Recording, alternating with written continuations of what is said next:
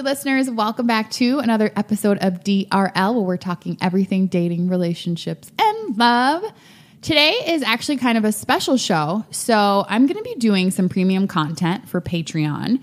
For those of you who haven't heard of Patreon, it's a site where you can support your favorite podcast, artists, and all things creative. So, we're going to be doing premium content there. So, today's show is going to be with Chris, Chris Valentine, the BF and uh, he'll probably join joining me for more of the premium content over on Patreon. So be sure to go over there and check out the content. It is patreon.com slash DRL podcast. Hey, babe. Hey, what's up? Welcome back. How you me. doing? I'm good. You haven't been on since episode two. I know. It's like ages ago. What have you been doing? Um, I don't know, I'm working, watching TV, doing dad stuff. You're like, you live with me, you see me every day, you know what I've been doing. exactly. Um, so the reason that Chris is on with me today is because um, we've been having some pretty lengthy discussions about the season three premiere of Insecure, and um, just some things that we we agree on and disagree on, and have been been reading on the internet, and we're like, you know what, we got to talk about this on the podcast. Um, so to help you understand how Chris and I watch television, uh, the I believe it was a 35 to 40 minute uh, episode of Insecure took us about an hour and a half because easy we pause like every other second. We call a pause and then we talk about what's happened in the two minutes since the last pause. So, so we've thoroughly watched this show, which is how we watch TV. And babe, shout out to you because before I met you, I didn't even know how to watch TV. You know, most people don't. so it's, it's, good to have a friend like me in your life. I get that. No, I I'm the type when I watch any show, even if it's a show I really like, I'm also doing like television is just always a background for me. So I'm also doing like five other things. Like I'm mm-hmm. returning a text, I might take a phone call, and I don't hit pause through any of it. That's probably because I grew up, you know, like with just regular TV for a really long time and you couldn't always hit pause. So I just, you know, I go about my business. I'm probably, I could even be reading an article or a book and so I'd always catch pieces of things, but never really a full show. So mm-hmm. since I met Chris, though, that's all changed. There's like a whole pause etiquette thing that we have. So do you just cover up parts of Picasso paintings when you look at them? Yeah, that that piece I don't like. okay. I don't know. I just don't think of TV that way. A film, I think of it as like it's a piece of art that someone made to be watched from the beginning to end. For my enjoyment, I think it was meant to be viewed in its entirety, and you should you should give it that attention. If you can't, then do the thing you need to do. All right, I get it. I respect it. I've learned. Um, so we thoroughly watched. Ins- so y'all can't see her face. She be in here whiling. so I we have thoroughly watched Insecure, and um, a couple things I want to talk about. Mm, I had to go back twice. We we watched twice actually. Yeah. Yeah. After seeing what people were saying on the internet about the show, I, I had to I had to double back. Okay, what what did you think of the episode overall? The themes that you sort of we, we sort of talked about were the open relationships and the way that that is being portrayed. Issa and Molly's friendship and the level where it's at and sort of how they're both very flawed in their reactions to things for women of their age. Correct. So, not just them. There's you know, pretty much all the characters are kind of like their real age minus 10 years in terms of some of the decisions they make. But again, that gets us to the big disclaimer it's a fictional show. And if everybody was making good choices all the time, it may not be as interesting. Right. like we probably wouldn't be watching or right. talking about it. So right. it's TV. We get that. But what should what should these people be doing in real life? So like, what upsets you? Uh, well, first of all, Molly, couple things. She she she just seems like a little bit of a hypocritical person in many ways, and also just some of the things that she does don't add up, right? So we've seen her be a really good friend to Issa in different ways over the course of the series, and you know she comes back from her vacation, looks like she had a great time. Um, basically doing a lot worse to some guy. You know what pissed met. me off on the vacation? She's like, oh, "You got a visa?" And he was like, "Oh, I'm from Cincinnati." Like he has no accent. I don't know which island you're on, but I assume there would be somewhat of an accent if he wasn't from if he was from there. Come on. She was bringing that Bo Derek privilege, right? I felt like that was like very like if a white lady did that, we would have been tripping about it. exactly, and it just seemed really out of touch. And you know, she was happy to, you know, enjoy his company on her terms when she wanted and then you know scoffed at the opportunity to even know anything about him. And when he offered to like meet up with her in LA kind of kind of played him. And in and in a way it mirrors some of the things that she's suggesting that Dro is doing to her. But in actuality it's nothing like that and so it kind of just starts off from there. But I, I, wasn't even talking about that part. I forgot about that. That had me heated.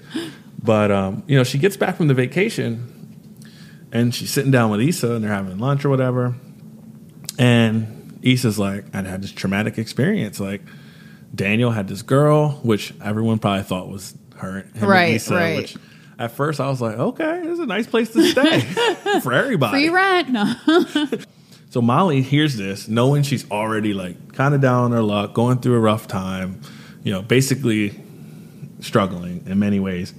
And she hears this, and her first thing was, "Well, you know, I'd let you stay at my place, but you broke that vase once." I thought that was so cruel. I'm like, what kind of friend is that? Now, this is coming from a person who doesn't like people staying at my house. I get that. You don't even like me here. I hardly. barely like you at our own house, but but like, if it's my best friend, and you broke a vase, like that's the thing I'm gonna be like, no, I'm drawing the line. That was so weird to me. Like, why, why? And especially since she was out of town for like five days, why couldn't she stay at your place while you were gone? Like, why did she have to be subjected to seeing this man having sex with other people? Right.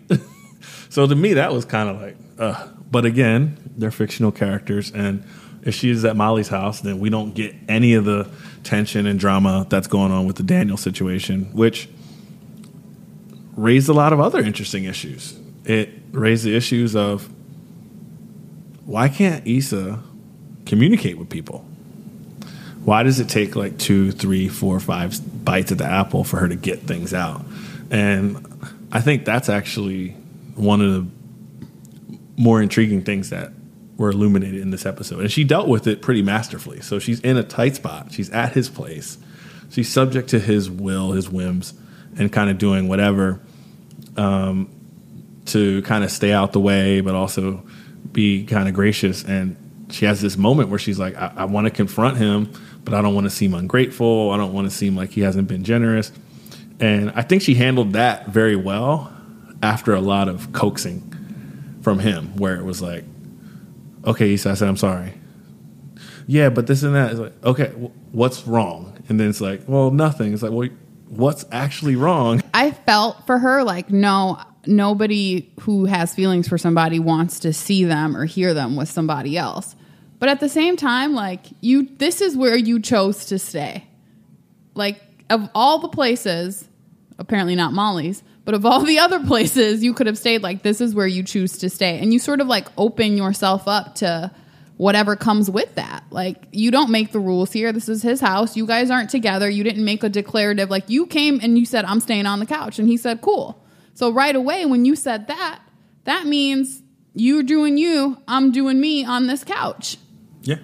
I mean, something that someone said on the internet, which I didn't necessarily agree with, but in terms of like understanding Daniel's state of mind, is you know, she was like, it's, he said, uh, well, you know, Issa didn't, didn't, uh, respect Lawrence when she was cheating on Lawrence with Daniel. And then when Daniel wanted more and pursued her, and she kind of played him back for Lawrence, even after saying that wasn't really a thing, uh, and it and it wasn't. And then he made even another attempt, and she kind of played him again. Right. And so, from his perspective, he's being pretty gracious by even letting her be there. Right. And and to be honest, human nature is always to to do that, right? She she actually eventually says like, "Look, I came here because I knew you'd be there for me." And he was going to be there for her and he did. But human nature, you're always going to see that person and be like, "Yo, this is the person that played me like several times." And like I want to be a good person, but like I got to be a little petty Right. Petty is part of human nature. He was a, he was a little wrong for that. I mean, look, clearly she must have been asleep when he came back and was like, whatever. But as we find out later in the episode, when he goes to his sister's house to get the guitar, this person isn't just anybody. This is like an important woman in his life because the sister's like, oh, so wait, So what's Vanessa got to say about Issa staying there? He's Like he "Oh, knew, she knew who, who Vanessa was because you probably wouldn't tell your sister if it was just a Exactly. nobody. And the sister's already saying like, you know, your niece is gonna. I need you to watch your niece. And then she's like, okay, well, like, wait, hold on. And it's a joke, but she's like, so is Vanessa gonna watch her? Which means that they've interacted, or is Issa gonna watch her? And so while that's supposed to be a joke and like a little bit of shade to him, it still lets us know that Vanessa is just not some random person he met. And clearly Issa was asleep when they came home. But he tried to kiss her at one point. Remember? Again, everybody on this show kind of acts a little bit immature. So it's like, how serious is Vanessa? Because you, you really tried to fall right back into that space when you felt like there was like a, a spark for a moment. you know, like I said, everybody on the show does a little bit of crazy stuff and a little bit of things that aren't great decisions. And I don't think Daniel has really had a chance to prove to us as audience that he's like not prone to keep making mistakes or not prone to, you know, infidelity or anything that people struggle with. I just think that he just pursued Issa real hard and got got the stiff arm a couple times. But that doesn't mean if he's if she had said yes, he wouldn't have messed up. Right.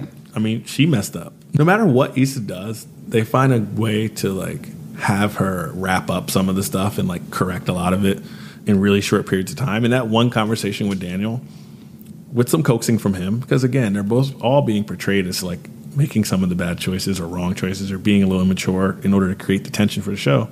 But she, in a tough situation, expresses all the things she needs to express to Daniel about her comfort in the place, her appreciation, like, can you help me out by do, get doing me this solid and kind of like being a proactive part of like, okay, you shouldn't come home this night or the house Right. Which is fair. He didn't necessarily owe her that, but as a courtesy, like, yeah. and she handled that beautifully in a tough spot and he um, you know he didn't know how to process it at first but he went in his room and then came back out later and they were and he sat down they watched tv and they had a laugh and he was like you know whatever we're Right. good and that's fine and uh, i think people can take a lot from that in terms of understanding you can just communicate with people Right. you don't have to like say something with the intent for them to either challenge it or ask a question so you can say the next thing and chip away at it. Like it might not feel like it's easier to rip the band-aid off, but it's almost always easier to rip the band-aid off. And I think that was probably the thing that was interesting to see Issa cross the bridge on because that could have helped saved her whole relationship with Lawrence or brought it to a head a lot, a lot earlier. Right. But people sort of like throw little hints or particles out there and see how people react to the hints and the particles. But when it's just like this little hint, like you don't necessarily know what you're reacting to. Like Daniel said, be real. Right. it's like, what's wrong? Be real. Right. And when she did, everything was cleared up. Until that point, it was all just miscommunication. And uh, I mean, that's the exact, her her miscommunication is the reason why Daniel's in the picture now. Now, here was my biggest issue with the episode. I don't like how the open relationship is being portrayed. So I think what's happening is people don't know a lot about open relationships because they're not something that's openly discussed on a lot of television shows. And so people with black folks, sure. especially not with black folks. And so there's these inferences being made by the audience about how they would feel. Well, in a situation like that, I would feel like, you know, leave your wife or leave me. Like you have to choose or like, like and so we're putting that on her. And so anything that she does that is flawed, we're automatically saying, well, he's married. So, and it's so she can almost do no wrong. But here's what it is they're friends. He says, hey, just so you know, me and my wife, we have an open thing. Like you, really want to explore this? Let's do it. Like everything's on the table. Like at to this point, he hasn't lied about anything. No, I mean, there's only been speculation that he lied. Like in the basically bowels of the internet, people are like, well, I'm not sure his wife knows. People run this game all the time. And it's like, But this episode, it was pretty clear when his wife called and he was like, I'm still at Molly's. This is, you know, in the morning. They're about to make pancakes. yeah. Like, and it there's didn't no. seem like a, why didn't you come home call? It seemed like a, just checking in. like, hey, it's the morning. You good? Yeah, I'm still here. All right, so you're safe. All right, cool. Right. talk And so and then that made her upset to the point where she's like, now you have to you have to choose what you want this to be. And it's like, he's always told you what it was. So you've always had the choice to say, you know what? Like this is too much for me emotionally and like I don't want it. So like let me stop. But in the same episode after she, you know, gives this whole tirade about how they're either acquaintances that fuck or or friends that are friends. And then within days, he's like, "Hey, let, let's go out and celebrate." And she's like, "Okay." Again, he's changed nothing. Like it's up to you. First of all, she was ready for breakfast. Phone rings. He handles the business that he has to handle that has been on the table. And he's like, You ready for that breakfast? And she's like, Nah. She's totally entitled to change her mind. She's totally entitled to express that. But she does do it in a little bit of a childish way. We need to either be acquaintances that don't have sex, or if we have sex, you can't spend the night. You can't take me on dates. You can't call and text me, and no breakfast, basically. Basically, like Which is fair. If, is if, fair. if those are her ground rules, that's fair. And she looked at him, and then he was like, "Oh, you want me to leave now?" She's like, "Yeah, I mean, that's the path we're chosen." And they both kind of chose the friends with benefits path, Right. But you leave, Right. and that's fine. No big deal. People were like, "Why he took so long to get out of bed?" Because he said, "What's wrong?" She said, "I need other things to be able to deal with this. It's hard for me to deal with this." And then he said, "Because he's such a bad guy." Well, what do you think we should do? How do you think we should resolve this? And she gave the two options. He didn't know he had to leave right away, but he left right away and was like, all right, let's figure that out. Now, look, did he then follow up because she's always flip flop back and forth and say, hey, you know, even friends celebrate, like, let's go do this thing, like, let's get together at this place. Uh, And that was him, I think, testing the boundary of what she said. Like she said this, but did she really mean it? she was in the moment. She was angry because of the call, because literally a second ago she was ready for breakfast. And look, that's fine. All of that is growing pains. I didn't mean in time, it seems like this has only been going on like a month, month and a half. Like it's been two weeks since Issa's been in Daniels, apparently. And it seems like all the, the house, I mean, the, the big dinner party and all this stuff happened like within the last month. From So last season. It's from Yeah. last season. So it's all new. And um, yeah, so they didn't end up getting together because the fight in the back seat, which was hilarious. Great writing. Right. if you were Molly, what would you do? Would you even get involved in something like this? Like, I, I am actually curious about this from a guy's perspective. So, let's say you had a friend that was like married now and, you know, you hadn't seen her in a while and she was like, oh, like, I'm married and, you know, I have a husband, but we have an open relationship. Like, and you're single. What would you do? Is that something you would even involve yourself in? Especially if you're at a point in life where maybe you want a relationship or maybe you're open to dating or like you're trying to move to the next phase of your life. Like, what would you do in a situation like that? I'd really have to, I mean, I'm not just like a jump into stuff type of person. So I'd have to see, like, well, how strong is their relationship?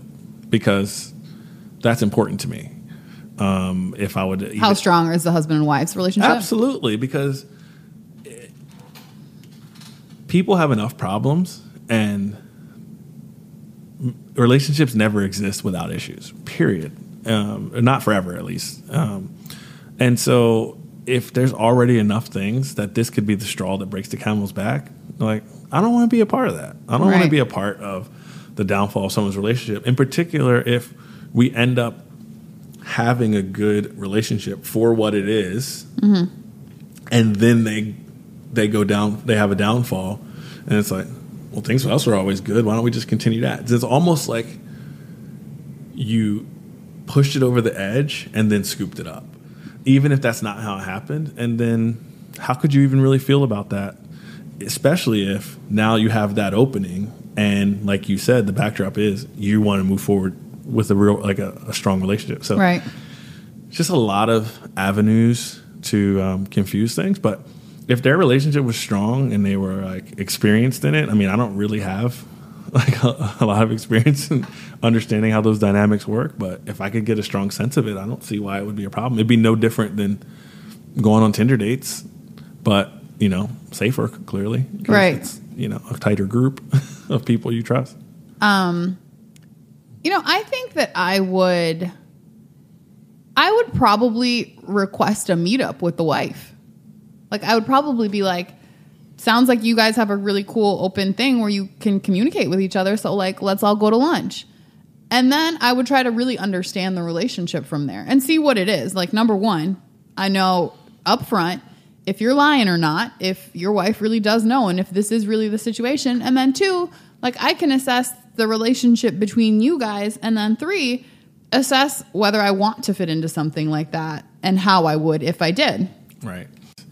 No, I mean you're right. I mean, the I mean the the issue is, and I think that's something that people commented about something that happened between Dro and Molly on the show this week is you know you could say something like, "Yeah, I'd like to meet the wife and like establish that," but what if he says, "Well, it's her boundary that she knows and like she's aware, but she doesn't want to be like meeting people and stuff and like hanging out." Which is fair, but because that's that's a requirement of mine, then I'd be It like, well, this happen. this isn't a situation that's good for everybody. Then, Right, so right. it's a situation that shouldn't happen. No, I get you, but uh, it, it ties into something that happened um, when Molly and Dro actually finally communicated.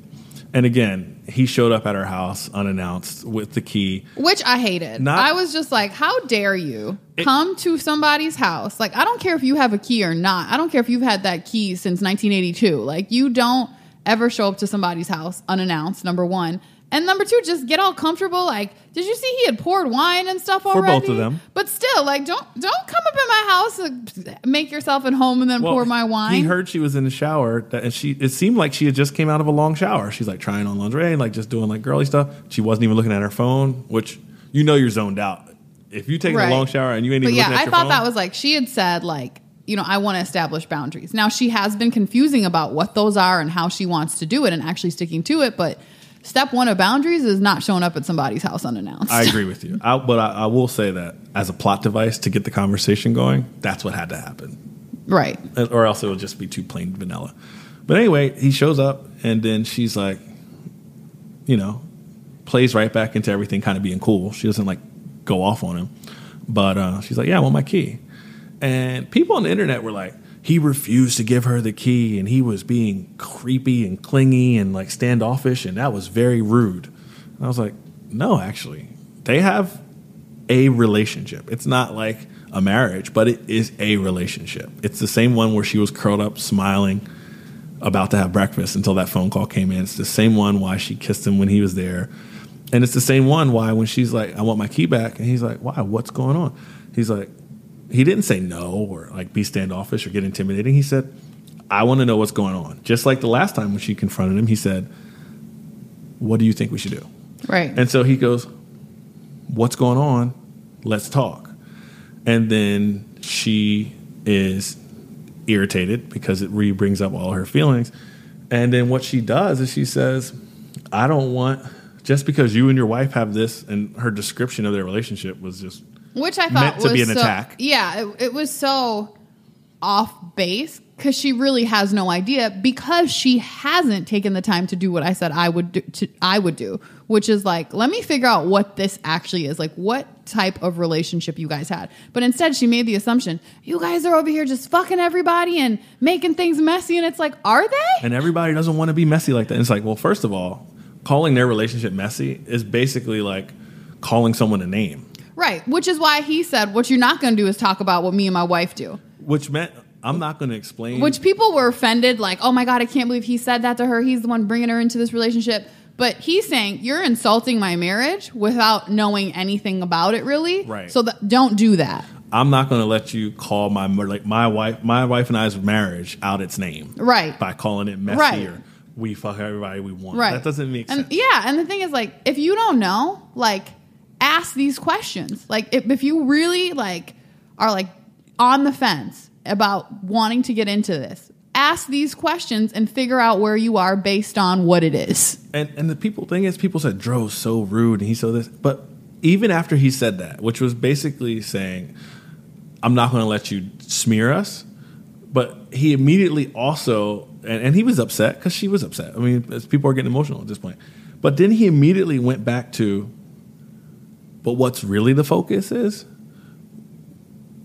what do you want to do, and what are you comfortable with? Mm-hmm. And then she definitively said, I don't know, but I know I want my key back. Right. And in that moment, he was like, gave her the key. Right. Awkward silence, awkward silence.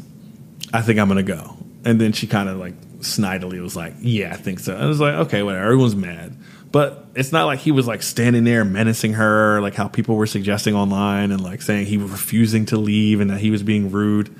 And it's like, yeah, okay, maybe he didn't like completely turn the other cheek when she was rude to him and said, You "That's not what you're about to do," and got a little loud. But like, temperature temperatures are rising a little bit, but he didn't do anything out of pocket. Did he? Um, I don't remember if they had this discussion last season or not. But was there ever a discussion around like Molly to Dro? Like, what do you want out of this ultimately, or like, is this just a sexual thing for you? Like, did she ask any of these questions up front? I don't remember. You mean in the bathroom at the dinner party, or she didn't seem like she was asking a whole bunch of questions. Right. Like it seemed like, like, she was enjoying sort of the just the, ride." the, sexual freedom of it. Again, no different than what she was doing before, going on dates, meeting people, this and that, the dude with the preacher body, whatever. Like she was just living a cash life, and that's fine. Everybody's entitled to do it, especially at that age and whatever she has going on. Meeting people, if she enjoyed their company, she enjoyed their company. If she was having sex with them, she was having sex with them. But like you know, she was hoping she'd find somebody to be with, from what it seems like. But she wasn't pressed about it. And to me, um, this was just more of that. Um, but you know, there was some other dynamics that people on the internet brought up that I couldn't completely dismiss. But it was again because Dro's married. It felt like they were basing it on he's already doing something wrong. And it's not wrong. Here here's the thing that I just I need everybody to understand about relationships. I think there is no set rule for relationships, right? So however you and your partner decide that you want to structure your relationship, as long as it works for you guys and you're honest about it within your relationship and, and with the people that may enter it, you're free to do that. There's nothing wrong with that. Like, I still don't see anything wrong with what Dro is doing. If in fact he is honest with his wife, and if in fact she is okay with what is happening, there's nothing being done wrong in their marriage, in my opinion. Well, unlike real life, we actually have the writers of the show who said in between seasons that yeah, she knows like that's an understanding people need to just have, and then the call, which wasn't enough for people because conspiracy theories are more interesting. right. So let's just let's just go on the premise that everybody knows. Right. And And ev- everybody knows. Right. But here's the thing that was interesting about that is uh, people were saying, and again, this this puts the predatory n- nature onto Dro automatically because he's married. They said, well, he, they were friends, and he knew she was vulnerable, and he's taking advantage of that to use her. Mm-hmm. And so, firstly, I I didn't anticipate. Eh, eh, I didn't take anything that they were doing mutually as anyone using anyone. That's the first thing. The second thing was they were friends, and Molly was equally understanding that they were both friends, and then still wanted to explore this. She's having reservations about how much she wants to take it in and what she wants to do, and she, you know she'd rather I guess not go out to dinner before they have sex or not fall asleep together after they have sex or not text but whatever I mean I think what she's trying to do, which is the wrong way to go about it, is she's trying to pretend that his relationship with his wife doesn't exist. And That's that's, not like. and, and and you can't enter a, a relationship like like like an op- with someone in an open marriage and pretend that their significant other doesn't exist. Like I- that's not how you do it. I would guess not so it's like you know, you- like you can't get mad because she calls and she exists. Like she's there. That's a part of this. But that's when you have the freedom to say, you know what? Because I don't want to view this, and because this is what it is. This is your relationship. This is your wife. These are all facts.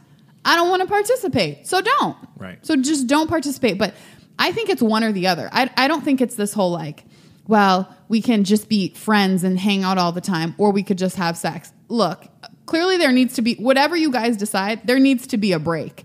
There needs to be like, look, Right. let me let me figure my own stuff out. You do you for a while, and we can come back together as friends. Just like any romantic relationship, like you can't necessarily jump from one thing to the other so seamlessly.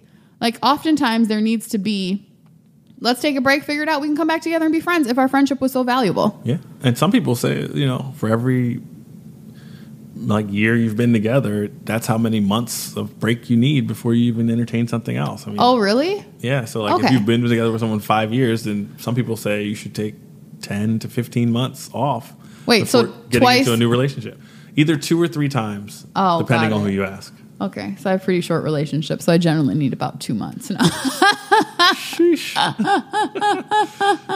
Knock on wood, no. but um, no, I think that they had an opportunity to do one of two things. And I think I started saying this earlier. They had the opportunity to have it go the way that it did and have those two layers of conflict between Dro and Molly, first in the bed and second when he came in.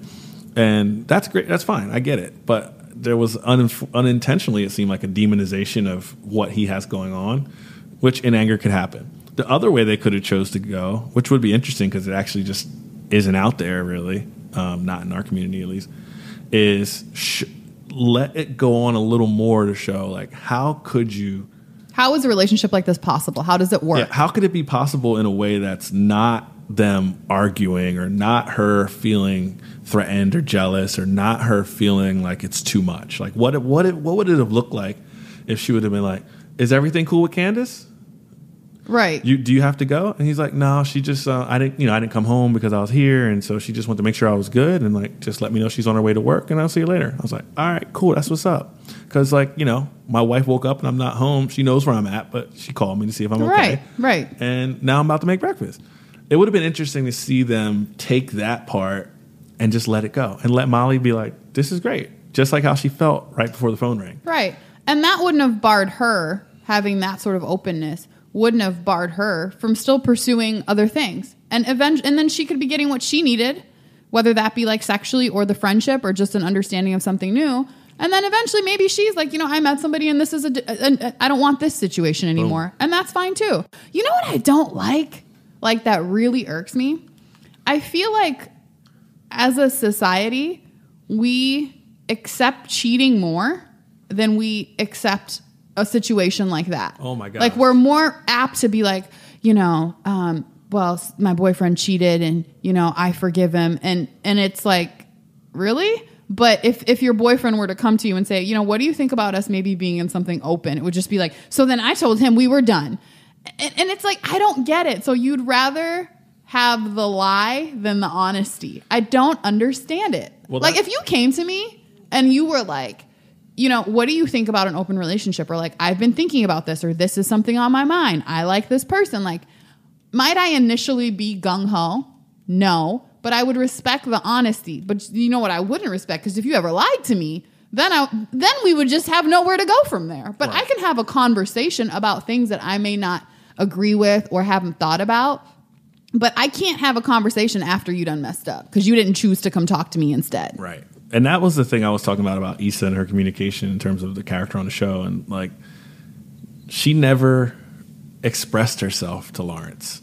And people, when she strayed, were like, well, Lawrence was a bum on the couch and he wasn't motivated. And like, but then, and then when she cheated, it was like almost an apologist attitude towards it.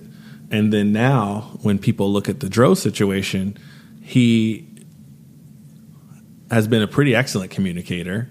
He has been completely transparent, and it seems like, in terms of like sexually and like even the dates and the other stuff, has like done everything he said he was going to do with Molly and not made her feel like neglected or anything, Right. In any way, and he's getting attacked by. I mean, I'm talking about the fans, and the Right. fans are attacking him. The same people who like put their cape on for Issa to like justify why it was okay for her to cheat on Lawrence. And like, I just think that that type of hypocrisy is not necessarily uh, healthy. And it's like you said, you're gonna you'd be more willing to support the lie and the cheating because that's what everyone's used to versus like an uh, ethical non like so non monogamy where you're lying is like it, you can excuse it or forgive it or do this but like an ethical non monogamy where you're actually like have an agreement and understanding and rules and like things are going as planned everyone wants to have a conniption fit Why is that? Do you think that's just how we're like conditioned to think growing up in this society? Yeah, I mean it's the it's the it's the fake prudeness, the fake conservatism of like this whole like you know Puritan values here in this country. Like people pretend to be modest, they pretend to have chastity, they pretend all these things, and the reality is it's like you know you go to the club on Saturday night, you go to church on Sunday morning, you drink champagne all afternoon at brunch and then you watch Insecure.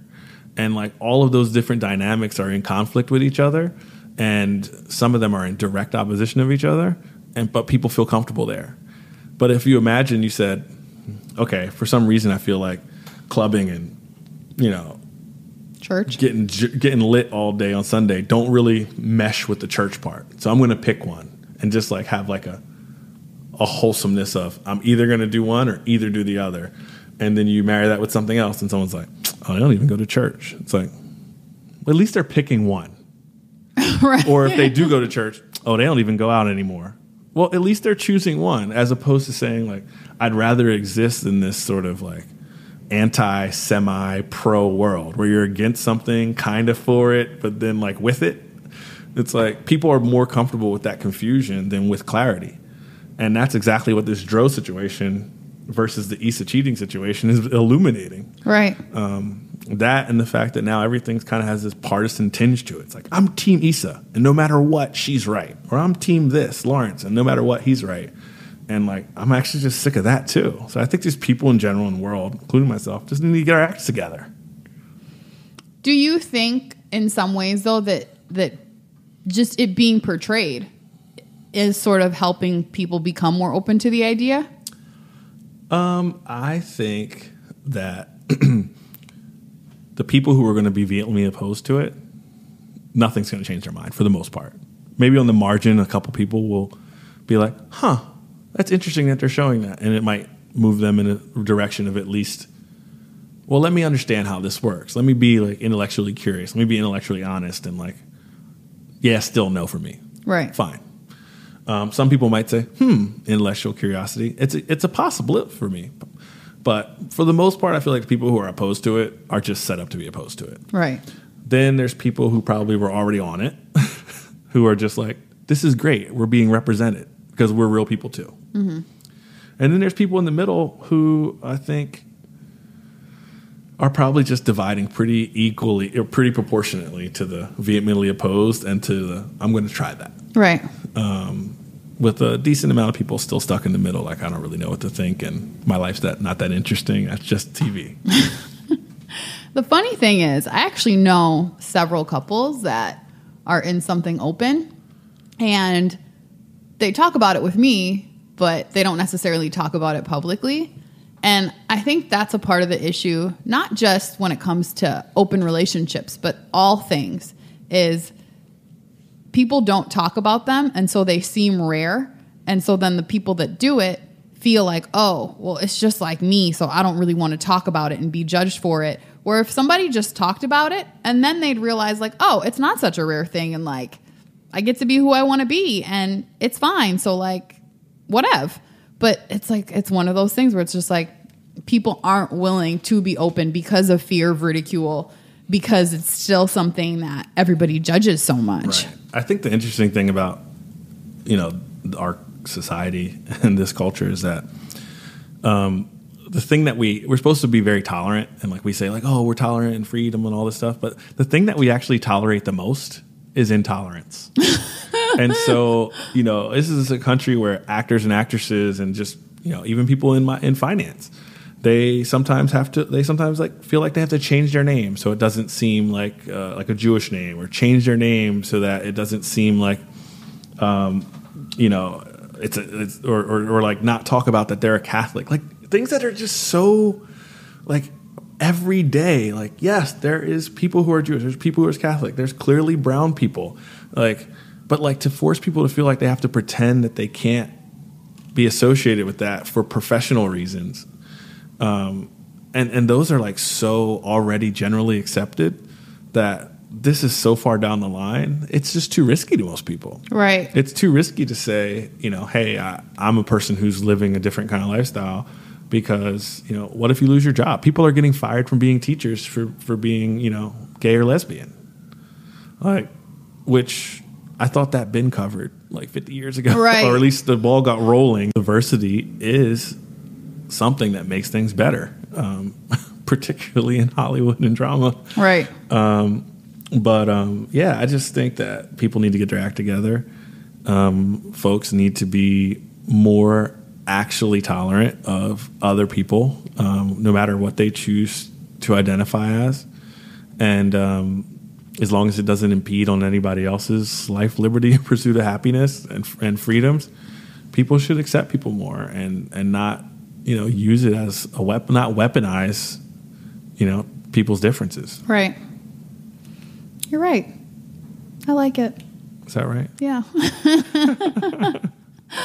well, um, I appreciate you coming on today and uh, talking insecure with me, You know that group chat had me riled up. and and and um, teaching me how to watch television. Of course. My parents did never taught me. and um, don't forget, I'm going to be doing more content like this on Patreon. So please go and visit Patreon, patreon.com slash DRL podcast. And um, you can access some of the premium content. But I'll still be doing weekly episodes on iTunes, Google Play. Oh, guess what? We're on Spotify now. So you can Hey. also uh, catch DRL there too. So please let me know what you think of the show at Tennesha Wood on Instagram, Facebook, and Twitter. And until next time, wish me love. Hello again, my lovely listeners. Thank you so much for tuning in to today's episode of DRL. If you like the show, be sure to go on iTunes and leave a rating and also write a review. And don't forget to share with your friends and tell them all about DRL. Thank you so much for supporting.